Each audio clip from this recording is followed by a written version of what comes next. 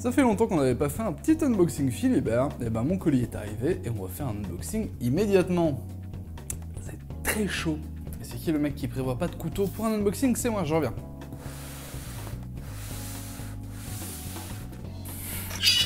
Alors, dans cette petite commande, il va y avoir éventuellement du matos de review, mais surtout quelque chose de très spécial, c'est que euh, j'aimerais faire plus de gameplay solo euh, sur la chaîne.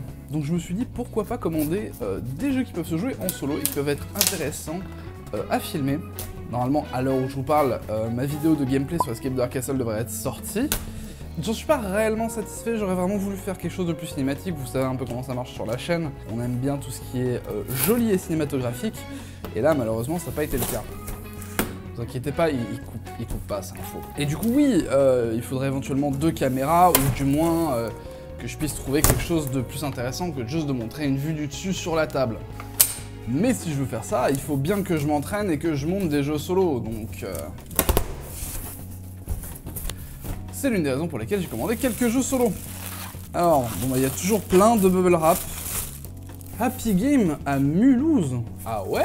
Hmm. Je vais m'enseigner, Mulhouse, c'est pas très loin de chez moi. Le Filimag. Je me demande combien j'en ai de ces trucs maintenant? Je vais en avoir un certain nombre. Alors de quoi il parle dedans? Il parle de Gosu X forcément, Funfair, Overboss, Suburbia. Funfair, euh, j'y ai joué, il est très bien. Il est euh, juste... Il, est là-dedans, dans la bibliothèque. Il est là J'y ai joué, c'est vraiment bien Funfair, c'est super chouette. On fera peut-être une review de, de Funfair, parce qu'il est vraiment chouette. Alors avec quoi on commence comme jeu? Oula, attendez. D'accord. Bon, on va commencer avec ça. On va commencer avec Ecos de chez euh, AEG et du coup chez nous euh, Lucky Duck Game. Un jeu où en fait on joue euh, des dieux devant remodeler la terre en plaçant les animaux. Tout ça, ça a l'air super chouette et j'ai joué Ark Nova récemment et je me suis dit bah des, jeux avec des animaux, pourquoi pas Ça peut être chouette. Par contre je vois qu'il y a un espèce de petit, de petit bloc remplacement punchboard FR. Je savais pas, il y, a, il y a eu des problèmes dans la production ou alors c'est genre une... Ils ont juste laissé une VO dans les punchboards. Je regarderai, on verra bien pour ça. Ok, ensuite on a Android Mainframe. Alors, si vous connaissez pas Android, c'est une franchise énorme. Il y a plein plein de jeux qui ont été faits dessus. Il y a eu des TCG, il y a eu plein plein de trucs.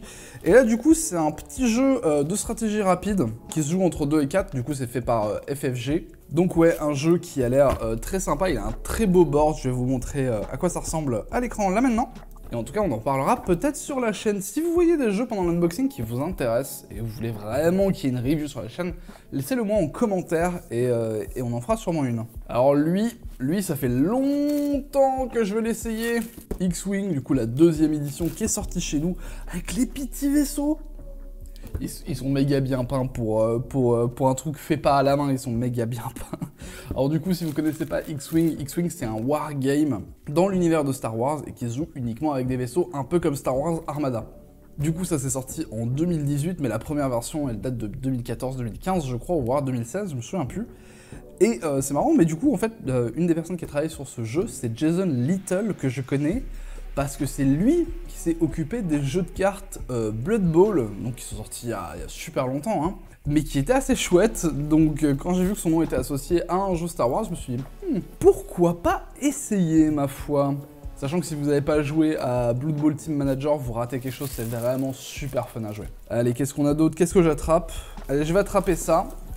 Alors du coup, celui-là, euh, je l'ai attrapé en euh, promo, un jeu coopératif dans lequel on doit euh, défaire Dark Vader avec une grande figurine de Vader et même la promo qui en parle euh, juste derrière.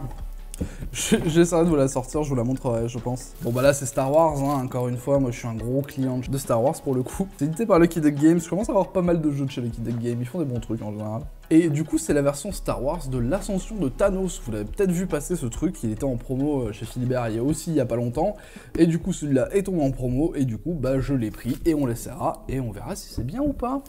Alors est-ce que je continue avec des gros... Non, on va prendre un petit, un petit jeu. Un petit jeu. Je sais pas si on le voit bien la caméra. Caméraman, zoom. Voilà, le caméraman a zoomé normalement. Hop, Happy City Grozilla, du coup j'en avais fait la review euh, de Happy City il y a pas longtemps, je le mets là, paf Et ça, c'est l'extension qui, qui, va avec, du coup, Happy City, qui rajoute en fait des kaiju qui peuvent détruire la ville. C'est toujours édité par Cocktail Games. moi, j'avais bien aimé Happy City. C'était vraiment, vraiment chouette, vraiment mignon. C'est un, jeu de construction de ville que j'apprécie assez. Et du coup, le petite extension, je me suis dit, bah, vous savez quoi, pourquoi pas euh, prolonger l'expérience. Et par contre, celui-là, je pense quasi à 100% qu'on fera une review dessus euh, pour voir si ça se tient ou pas. Et du coup, pour celles et ceux qui ont joué à Happy City, qu'est-ce que ça rajoute? En fait, ça rajoute un quatrième jeu de cartes que vous pouvez euh, du coup placer sur le plateau.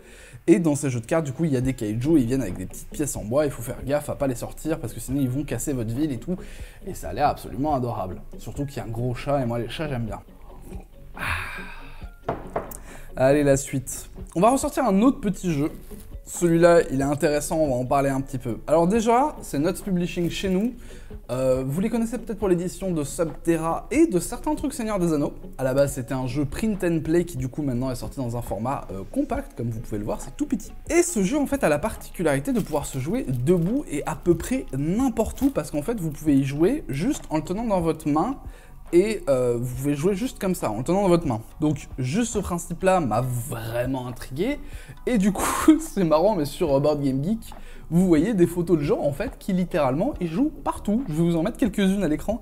C'est super drôle. Les gens s'amusent en fait à prendre le jeu et à le jouer bah absolument n'importe où. Donc c'est super drôle et j'avais vraiment envie d'essayer. On parle print and play et jeux qui ont été sortis dans une version compacte. On va parler du coup de Mini Rogue qui du coup lui aussi va faire peut-être partie de vidéos de gameplay solo, exactement comme Palm Island, je l'ai pas précisé juste avant, parce que bah, c'est un petit rogue qui peut se jouer en solo ou à deux, et qui est aussi édité par Nuts Publishing, je suis en train de me demander, est-ce que les boîtes ont le même format? Pas du tout, absolument pas. Du coup, Mini Rogue, c'est super joli, ça a l'air vraiment chouette à jouer, je vous en mets un comme d'hab des images à l'écran, vous inquiétez pas.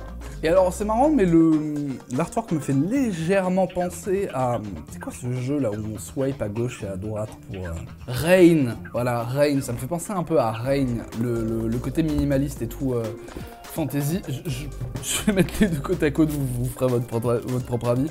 Il me fait un peu penser à ça, moi, personnellement. Allez, du coup, on va reprendre... On va, vous savez quoi On va prendre un petit jeu, un moyen, un grand et un grand. Et comme ça, on finira comme ça. Allez, Mindbug Bon, bah, Mindbug, tout le monde en parle. Euh, la promo est assez violente sur Mindbug. C'est édité par Yellow chez. Et j'avais envie d'essayer parce que ça m'a intrigué et je trouvais le visuel assez chouette. Donc ça, on en fera sûrement une review parce que j'ai pas beaucoup de jeux de versus de joueurs et je compte peut-être à un moment sortir une vidéo sur un top 5 ou un top 10 éventuellement des jeux de joueurs sympas. Et du coup c'était inratable mais la promo a insisté sur le fait que Richard Garfield, donc le papa de Magic, ah, alors, c'est pas du tout son jeu, hein. il a travaillé sur le jeu, mais c'est pas son projet, c'est juste qu'il est dans l'équipe. Mais euh, la promo a vraiment soulevé le fait qu'il est dedans, que c'est le papa de Magic, voilà, que c'est un truc de ouf. Et si comme moi vous avez jamais joué à Magic, et bah, bah, vous aurez pas de point de comparaison. Si, moi j'ai joué à Vampire TCG de lui, et j'ai joué à Battletech TCG aussi de Richard Garfield. Ah, on s'en fout en fait. Ok, un jeu euh, moyen, euh, Momiji. Alors, bon, bah là, c'est trop mignon, hein, euh, on va pas se mentir. L'artiste qui fait le jeu, elle a fait Living Forest. Ça vous dit quelque chose, Living Forest? C'est eu un petit succès quand même récemment. Et du coup, Momiji, c'est un jeu où on doit faire des paysages sur un jeu de cartes, et c'est trop beau, c'est pas possible comment c'est trop beau. Et ouais, j'ai pas grand chose à dire, il était en promo du coup, ça faisait un moment que je le voyais passer, il m'intriguait un minimum. Et du coup, je l'ai attrapé. Alors, c'est sorti chez nous euh, par Silex Edition. Je suis plus sûr de ce qu'ils ont fait, Silex Edition. Je vais vérifier une petite minute. La vache, je connais que Mystic Veil de chez eux. Très peu familier avec, euh, les produits de, de Silex Edition au final. La suite Alors Rallyman euh, GT alors du coup j'ai vu, euh, je découvre en parler il y a pas longtemps et je me suis dit, hmm, si j'en parle c'est que ça doit être un minimum euh, correct. Et je suis un petit peu recherche de jeux de course depuis que j'ai joué à Hit. Mon addiction sur les jeux de course est en train de se développer. Et il peut se jouer aussi en solo. Et du coup ça c'est pas mal, on en fera peut-être un gameplay solo. Et c'est sorti chez nous par Holy Grail Games qui... Qu'est-ce qu'ils ont fait Holy Grail Games Ah oui, c'est eux qui ont Titan. Mais oui. Et Museum, ouais. Museum, que d'ailleurs j'avais vraiment envie d'essayer. Ah bah c'est tout. Mais en tout cas, ça a l'air vraiment super chouette. Et le dernier jeu de cet unboxing, Gloomhaven's Jaws of the Lion. Alors ça, pas vous mentir, euh, Gloomhaven, à partir du moment où j'ai vu que ça existait, il fallait que j'en possède un. Le gros Gloomhaven, il est un petit peu cher quand même.